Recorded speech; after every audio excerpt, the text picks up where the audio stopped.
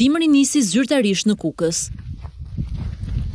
Këto pamje janë regjistruar mëngjesin e së martës në Shishtavec dhe qytetin e Kukësit. Ndryshimi i temperaturave solli borën e parë në lartësinë tetëqind metra mbi nivelin e detit.